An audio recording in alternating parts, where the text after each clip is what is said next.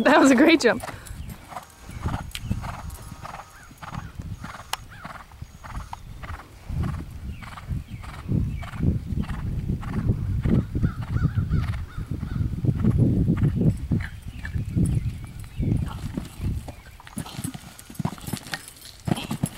Hmm.